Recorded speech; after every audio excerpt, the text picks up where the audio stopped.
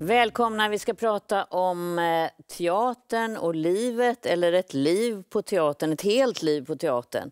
Eller som just nu, att leva utan teater. För det här är temat för Stadsteaterns nya talkshow. Och det är Helena Bergström som bjuder in. Hej, ska du sno mitt jobb? Ja, det var tanken. Jag tänkte så här, det här är ett sätt att tränga sig in och ta över så det nu kommer att heta Helena efter tio. Nej, Ja. det finns inte en chans. Varje, nu, vi, vi ska ju ha den här, vi kallar det för talkshow. Mm. Jag, jag liksom, det är snarare det är samtal och kommunikation och få bara träffas och, och prata då teater eftersom det inte går att spela. Och prata till en publik som älskar teater, visst är det så som ni hoppas fånga nu? absolut. Men sen det kommer också mycket handla... Det, det är sex gånger vi ska Mm. träffas här på en, eh, en nygjord matta som ser ut som Sergels torg-marken. Eh, med massa rutor Mm. och sen är det utsikt då på den här obelisken som har varit under alla år omdiskuterad. Men där sitter vi och pratar då och så är det liksom olika teman. Eh, men framför allt också väldigt mycket med inkludering och sen kommer jag att ta upp mycket det här, är teatern eh, vad, är det bara för de när, liksom närmast sörjande, på säga. Vad, vad, vad är, hur kan man bredda teatern och, och få, den, få en ny publik till teatern? För det krävs ju faktiskt det för att den ska överleva. vi ska prata mer om det, för, för ehm, det är en särskild person som jag har i tankarna då. Men jag tänkte vi skulle bara visa ett smakprov först, eh, där du har bjudit in två gäster. Du får berätta själv, det är Filip Sandén. Och Gunilla Rör, eh, jag tänkte så här, det, det, det var ju första, vi, då ska vi prata om vad, vad befinner vi oss nu, så det är också en stor del av ensemblen som pratar i filmat material. Eh, om, om hur är det att, att vara på en teater och inte få spela för en publik. Eh, det, Men ni pratar också om eh, tiden före corona, när ni faktiskt gjorde ett jobb tillsammans. Filip Sandén han var både regissör och stod på scenen. Och då tog han in Gunilla Rör för att eh, vara någon slags biregissör. Va? ja, regissera honom. Ja, det var inte helt enkelt. Vi ska lyssna här. Jag kan säga så här, vi gjorde nu senast så gjorde vi en pjäs som heter Ett dockhem 2. Jag och Filip gjorde för många år sedan så regisserade han mig eh, som Nora i ett dockhem. Den, Ibsen. Ibsens. Och nu gjorde vi en pjäs eh, av Lukas Natt som heter Ett dockhem 2 som är 15 år senare. Och jag spelade Nora. Och du spelade och regisserade. Som vanligt. Han ska göra båda han- sakerna han- Ja. samtidigt. Ja. Och in kommer Gunilla och ska vara vår... Eh, säga? Inkommer, jag hade. Han hade Kan inte du in hjälpa mig? som Vi- regiassistent. Nej, du Men var jag- medregissör. Ja, Ja, jag var med, medregissör. Och hon skulle framförallt regissera dig, tyckte du. Ja, Ja, och så i alla fall, och så började vi spela och, så, och du regisserade. Men Marie Göransson var med. Marie kommer komma hit också så småningom och hålla en masterclass. Men i alla fall, eh, Marie och jag, vi spelade. Vi regisserade, så regisserades av Filip. Och sen så eh, kommer Gunilla in och säger två ord till dig. Och du säger nej! Nej, det tycker inte jag. Nej. Jag gick jag och du fick såna här svettlappar runt. Jag fick- För så jag fort gick hon sa lås. pip till dig, Jag gick i lås. totalt.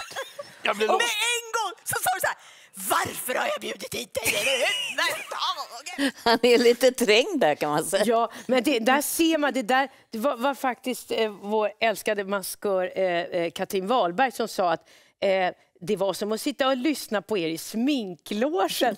Det är, det, du märker, det, jag kommer aldrig konkurrera med dig, Malou, för att det är liksom, det, det, det löper amok ibland och vi pratar i munnen på varandra. Men det är, bjuder ändå in att, att man, kan, man kan gå in på den här eh, hemsidan och eh, fe, Stadsteaterns Facebook och titta på det här och få ändå liksom Från- mycket allvar också.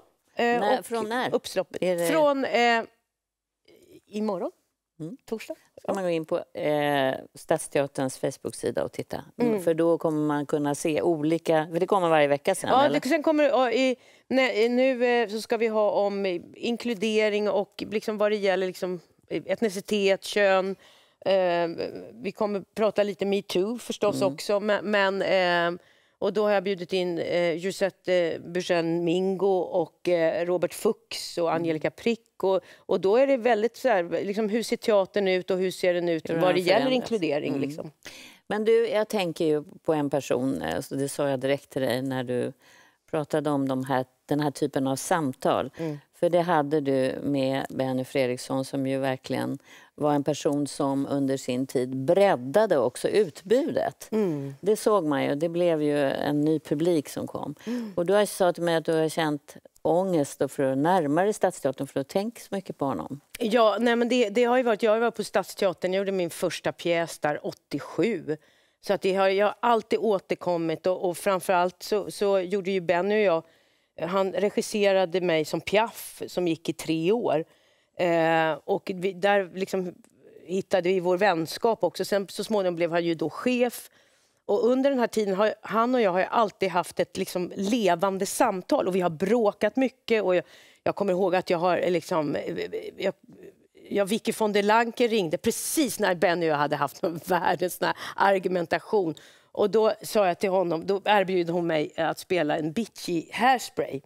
Och då hade jag och Benny pratat om någon Strindbergs roll och då gick jag in till honom och sa, nu ringde Vicky, bitch om bitch, jag går till privatteater. Så, sa. så vi har alltid haft såna här stora liksom, diskussioner. Men framförallt har jag alltid längtat att återkomma dit för att ha de här samtalen om teatern, om framtiden. Och det handlar ju också om, om, om, om vad befinner vi oss som människor just nu i det samhälle vi lever i. Vad kan teatern påverka? Och bla, Och bla. han var ju en eh, också omdiskuterad chef på Mm. den positionen med de människor som var runt omkring och eh, tog så oerhört tragiskt sitt liv. Och du, du har ju haft en sån eh, nära relation till honom så det här måste ha varit svårt att gå tillbaka till det här huset som Ja. har varit så mycket Nej, men det, det är absurt. Att det, vi intervjuade i det här programmet då, eh, eh, en av skådespelarna, Peter Gardner, och han står vid utanför eh, sceningången och det heter nu Benny Fredrikssons torg. Mm. Och så är det en skylt där det står då, ben, precis bakom Peter när han pratar. Och det är helt absurt. För Benny är, han är så extremt levande Mm. att han inte finns längre. Och jag, jag tänker ofta så här, vad skulle Benny gjort nu i den här pandemins tid? Han skulle komma på så mycket idéer, hur man, vad som man skulle kunna göra. Och, eh, ja, det är en enorm saknad. Och det har varit ganska ångestladdat att överhuvudtaget gå i de här korridorerna nu utan Benny. Så jag tycker också att det här, den här, här, de här stunderna vi ska träffas då, olika människor på den här scenen, på den där mattan liksom, på, i Kulturhuset. Eh, är, det är också så att, att komma lite närmare honom och den diskussionen som jag skulle kunna tänka mig att vi skulle kunna ha. Mm. Vad händer efter hela det här metoo? Vad har hänt på teatern? Det, kan, det kommer väl att bli Ja, det kommer vi väl prata om. Mm. Ja, absolut. hur, hur rollerna har kanske förändrats? Ja, eller- men jag kan ju också säga så här, Benny var ju väldigt liksom, eh, han ringde, det pratade vi om i den här eh, med Filip. Han ringer Filip eh, och säger så här, vi ska sätta upp Hamlet. Åh, vill du regissera? säger han. Ja, Helena Bergström ska spela Hamlet, säger han. Och det var ju långt, alltså, han tänkte också out of the box. Han, han, och hans eh, stora framgång på Stadsteatern var just det att han kunde tänka Eh, något som kanske, liksom, att överhuvudtaget, nu pratar jag bara utifrån mig själv, men det här har ju, det, det är ju så mycket, det är ju mina erfarenheter, men att säga till mig, Änglagårds-Helena, du ska spela Piaf. Det var ju så, jag sa, nej det ska jag inte, sa jag till honom. Det var ju det knäppaste eh, som jag kunde liksom tänka mig. Men sen när det fick landa något år eh, så gjorde jag det och det var en av de största upplevelserna jag har haft på scenen. Så att han, liksom, han kunde se ehm, det här som inte kanske alla andra ser. Och har en enorm saknad i det faktiskt. Men, men nu är du tillbaka och ändå kan fortsätta samtal med, med dina kollegor och med teatermänniskor om teaterns betydelse och mycket annat. Jag tänker också på, eh, du och jag har ju pratat om att oro, när man får barn så är det en ständig oro. Det spelar nästan ingen roll hur gamla de blir. Nej. Och att det här att gå ut på scenen och gå in i en roll, att det är att vila för dig. Ja, det har alltid varit eh, en... Jag har ju varit en väldigt... Så här, ända sedan jag var liten, så bara mamma gick utanför dörren så hade det funnits mobiltelefoner när jag var liten. Det, var, det, det hade ju varit hopplöst för Då hade min du mamma. hängt i den hela alltså, tiden. Det hade varit sådär non-stop Vad är det nu? Vad går du nu? Vad gör du? Det fan, har liksom funnits en slags oro hos mig eh, som jag jobbar väldigt, väldigt intensivt med och det är klart att det har eh, präglat en stor del av mitt liv. Och, eh, och vad teatern och filmen och liksom hela mitt jobb, men framförallt också då när man går in och ska spela en föreställning så har jag alltid så här ringt. Allt är okej, barnen har fått mat och sen går jag in i tre timmar och släpper. Mm. Jag får vara en annan person. Jag får... Vi, eh, du vilar då? jag Från det vilar. där andra, till Det- för det- din oro helt enkelt? ja, ja, för du är från inte en orolig liksom... för pjäsen eller hur det ska Nej. gå? Eller, Nej, jag hoppar in och bara är där Mm. och älskar det som händer med motspelare. Och, och, eh, och Det är samma sak när man filmar och så. Men med teatern så är man ju låst. Det är tre timmar. Mm. Och man kan inte gå upp på scenen och tänka, eh, har, har min son fått eh, mat nu? har vi mycket åt han? Eller som nu då när de har blivit vuxna så har jag djur istället. Då, Ja, nu kan du oroa nu kan jag dig säga, för dem. Har, har, de, liksom, har de ätit? Eh, För, du, för jag tänker också när du sen går ut till en loge, sminkar av det, är det mobilen upp då? Mm. Ja, direkt. Har ni ätit? Har ni ätit? Nej, sover de? Eh, Nej, men Vad det, gör ni? Vad gör ni? Vad är... Ja, men jag kan ju säga, det här låter ju extremt neurotiskt, men jag jobbar ju med det här. Det här är ju något här pågående arbete som kommer vara hela mitt liv. Ja. Liksom. Var kommer den där oron från början? Som liten? Ja, det har ju jag suttit i, många terapitimmar och gått igenom. Och det är klart att det, det är en grund i, i barndom och allt. Och sen är det väl också en, det är en del av mig och en, en del av ehm, hur... Det, det, det finns ju också det, det finns ju en slags närvaro i det också som jag jag tror jag har, ju väldigt nära till känslor. Jag, som jag också har använt mig av tror jag mycket i mitt yrke också. Den här liksom, att man är, det, man är på gränsen lite Man grann. sådär. vibrerar. Man vibrerar lite. Ja. Men sen är det ju så att de senaste åren är det ju film, Mm. både framför och bakom som regissör. Och du skriver manus och du håller på med film på alla möjliga sätt.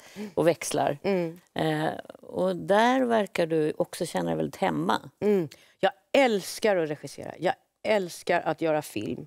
Eh, jag har precis gjort en film nu som är... Som är eh, Ja, den vill jag pumpa dig på. Ja, En ja men jag vet, det är en Netflix-film. Netflix-film så jag måste vara tyst fram till eh, vi ska lansera den. Men Eh, som ska ut samtidigt i massor med länder. Ja, det, det är ju det med Netflix. De trycker på en knapp och sen går den upp i massa Mm. Du sa till länder. mig, det här har du aldrig sett förut. Nej, det här har Malou aldrig sett förut. Ja. Men där måste jag vara tyst. Sen Sen, kommer jag, jag kommer gärna tillbaka och Okej. pratar eh, vitt och brett om den eh, Men det är, alltså, vad ska man, glädjen om man som jag haft med den dig på filmen. någonting, är det framåt sommaren eller? Ja, som det släpps? Ja. Okej. Alltså, ja, Men jag har ändå sett att det är en hel del skådespelare eh, som man förknippar med dig som är med. Det kan du säga något Ja. om? Ja, vilka är Ja. det som spelar? Eh, Molly Nutley spelar eh, då eh, och eh, bland annat Marie Göransson Mm. och eh, Mattias Nordqvist och inte minst eh, Claes Malmberg. Och den här är inspelad under coronatiden. Coronatiden har ju påverkat, det är ju det vi också pratar om, det är, det är klart att det har påverkat. Man märker ju här, bara Mm. man kommer in hit, det är ju liksom lite spooky. Med, att det är helt tomt överallt och alla håller distans. vi Och har den här enorma... Från och med idag har vi munskydd också. Ja, nej, men det är ju och, som sig bör Mm. förstås. Men det är klart att det är ju en, en när man har ett yrke som, som kräver liksom den här närkontakten och Hur eh, gjorde ni då? I när... Nej, men det är ju munskydd och prov och det, alltså prover Tester och hela tiden. tester hela, absolut hela tiden. Nu ska jag in och jobba som skådespelare på en inspelning och där går ju alla med ansiktsmask. Man, får, man tar prov. Men det blir inga Eller- kärleksscener då? Ja, men det, det, men då testas man. Okej, först. Precis innan. Så, Liksom. så att man håller några timmar? Ja, det är precis att det Men det, det måste ju vara precis innan man tar scenerna. Så måste man ju veta att man är fri från corona. Och har du till och med i huvudet tänkt att skriva om scener som är lite mer distanserade? Nej, jag har fått skriva om framför allt att man ska ha stor publik. Fick vi ha, och, och, nu, och sen så är det konstigt nog att det som man har skrivit om då från hur manus såg ut eh, så, så hittar man något annat och då går man liksom vidare ett steg till. Och nu är jag väldigt glad att jag faktiskt skrev om det så pass att det blev något annat. Liksom. Eh, men, men för att återgå till teater så är ju det, det, det är ju närheten Ja, till det är publiken som är nödvändig. Men du, eh, teater, har, du är ju född nästan på teatern med dina föräldrar. Var du med där jämt? Ja, jag är ju född på teatern. jag är inte liksom Förlossningen ägde inte rum där, men nästan. Nästan. Men, Alltså, mina föräldrar, pappa regissör, teaterchef och mamma skådespelare. Min morfar var skådespelare. Ehm, och vi, det, det var liksom under 60-70-talet. Eh, och pappa var chef i, i, eh, på olika teatrar, men då framförallt Västerås där jag växte upp. Och mamma jobbade där eh, också som skådespelare. Och man satt ju liksom i logerna hela tiden. Min debut på teaterscenen var när jag var fem år. Vad gjorde du då? Dansmus. Eh, Dansmus. Ja, och min pappa var då teaterchef, han var tvungen att eh, också vara med för att det var så mycket folk i den här föreställningen. Klas Klättermus, han var hare, mamma var eh, björn och syrran var ekorre.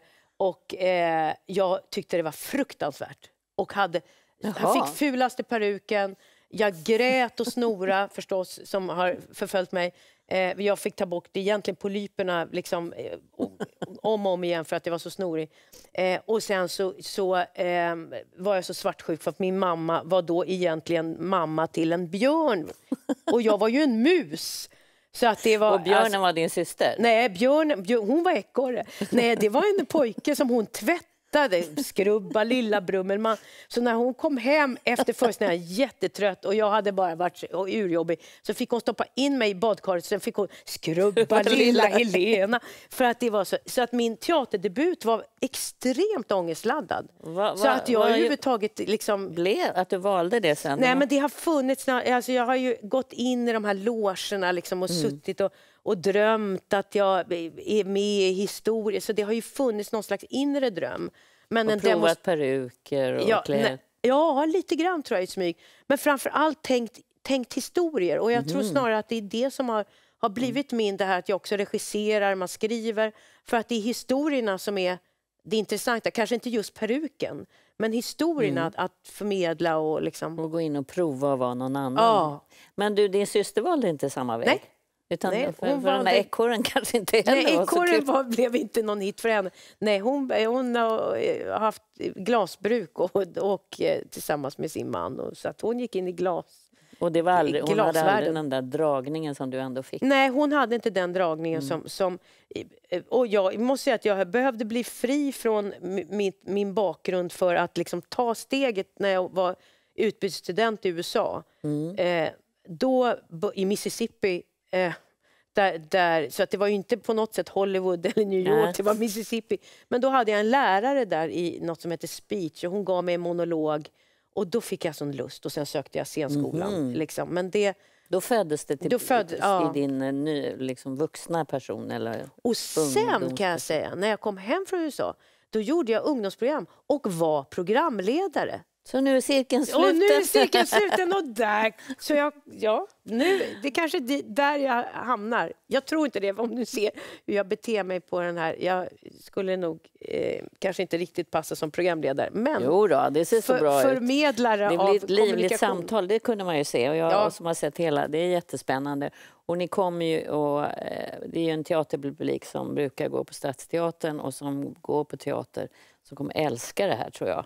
Sen hoppas man att man kan dra till sig ännu fler. Ja, men det är ju det. Vi hoppas att vi kan liksom bredda, eh, men till en början så får vi liksom prata. Mm. Ja, det blir jätteroligt. Och imorgon är det premiär kan Mm. man säga då. Eh, och då går man in på Stadsteaterns Facebook-sida. Ja, hemsida också. Eller hemsida. Ja, Mm, ja. Stockholms Och- stadsteater. Ska vi säga. Tack snälla för att du kom. Tack och den där. Netflix-filmen får du komma tillbaka och Ja, prata om. den ska jag prata om då. Ja.